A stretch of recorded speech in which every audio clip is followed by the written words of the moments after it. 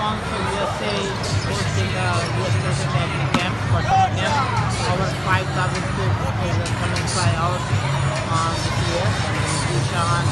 Irfan Khan, and Vinod Manchin, and we have Hassan, and they have Adam Khan, and also they're registering the players, here the kids for the youth program, for when they're coming in, and they start with, they sign up the teacher, after signing the teacher, they try out games, and once they had it completed the registration, we give them try out how to play cricket. So that will be great review and then the kids young enjoying the cricket.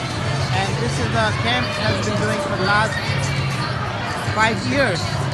And we have been trying to promote this cricket.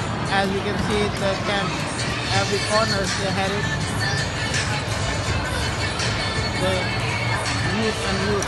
That's the way they can cricket can be promoted.